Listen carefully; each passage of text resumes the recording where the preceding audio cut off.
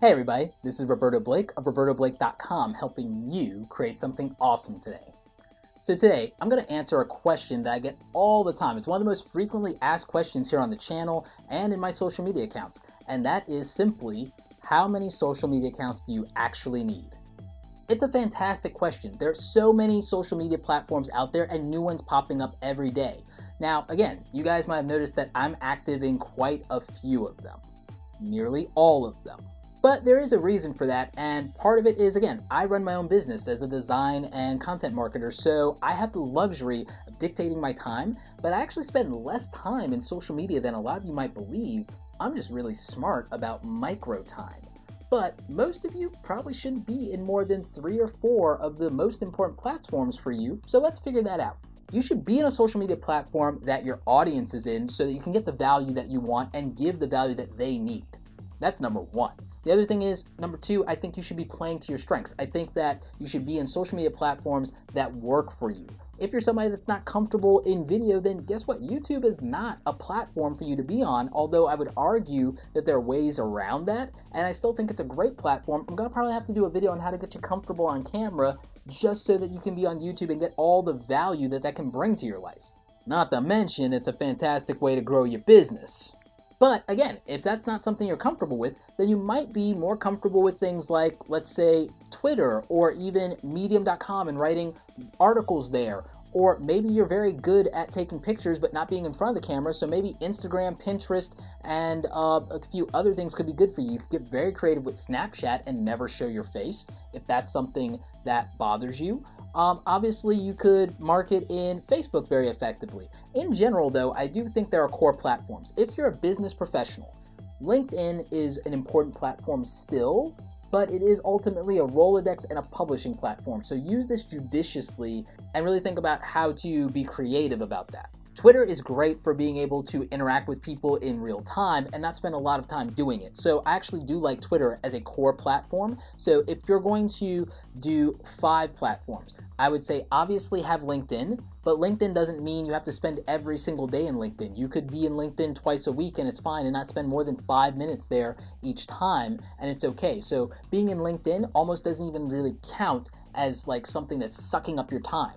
That's the thing that people are confused about. I need to do a whole video about this, about, you know, that perception, but, you know, it doesn't have to suck up a lot of your time. Twitter, you can do it when you're in line at the bank like I do. So, you know, that doesn't have to be a huge time suck if you don't let it, especially from your smartphone. The same is true for Facebook. So, again, these platforms don't have to take over your life, and posting at least once or twice a day to them is not anything difficult. You could do this with 15 minutes out of your day and be fine.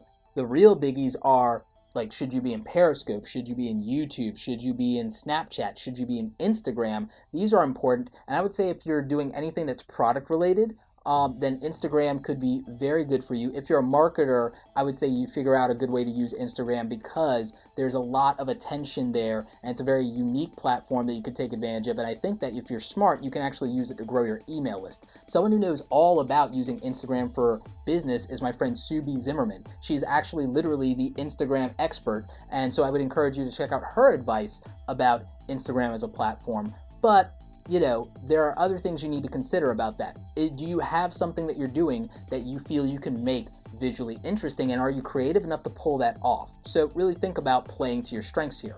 As someone with a background in graphic design, I've been able to actually get very creative with my Instagram account, and you know that's been working out really well. If you actually want to see what I'm doing with it, you can actually follow me at Roberto Blake on Instagram.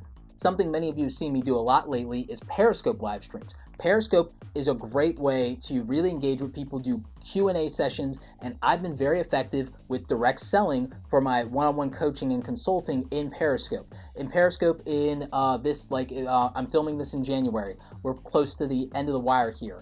I've gotten maybe 20 leads uh, from doing that in Periscope uh, just in doing this like a couple of times for the month, and I've probably actually closed about 12 or so of those leads at this point, uh, with some other ones being tentative. So again, that's huge in terms of what that means for revenue. So if you are in the marketing or consulting game, really think about how you might leverage that. Again, you know, it's a great platform if you're comfortable on camera.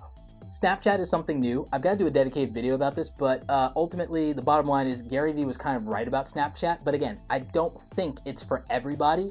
Just try and educate yourself about Snapchat as much as possible and see if it's for you. Again, if you're either very creative visually or you're comfortable on camera, this could be a tremendous platform for you and it doesn't have to be a huge time suck.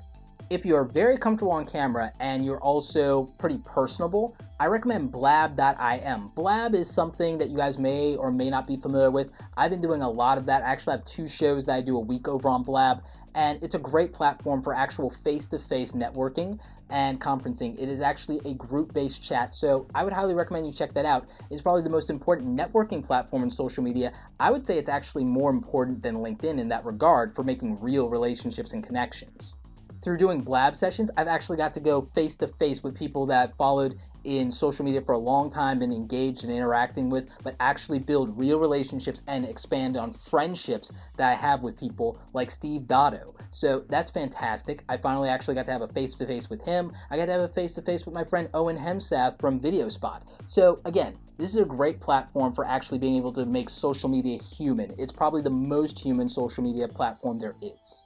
Can you leverage it for business? Uh, yeah, networking is always important for business, so the answer is yes. Just don't let it get out of hand. And again, YouTube. You know, as far as I'm concerned, that YouTube is the ultimate social media platform uh, based on all the advantages of it, especially when it comes to search engine optimization, but it's not for everybody. I think that there's an advantage in a way that everyone could use it if they wanted to and if they had an effective strategy behind that. But again, not everybody has that skill set. And you know, that's actually something that I help people with in my one on one paid coaching and consulting sessions. So again, reach out to me if that's something that you're interested in.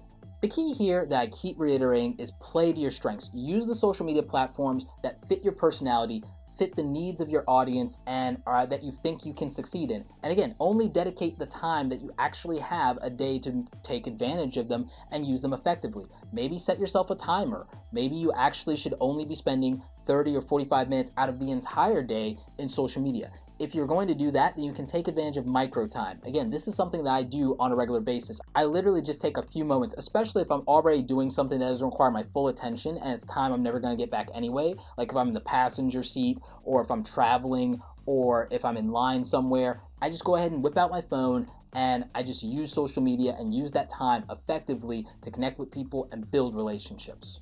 So I know this one was a little long, but I hope it answers your question as far as how many social media platforms should you use. Uh, the ones that work for you, but again, maybe you should have a presence in all of them, but keep your activity focused around your top five. For some of you, that might be too much, so maybe it's your top three. But anyway, uh, I hope this answered that question for you. But if you still have questions about social media, marketing yourself, or if you're interested in my coaching, let me know in the comment section. I'll try and answer as many of your questions as I can.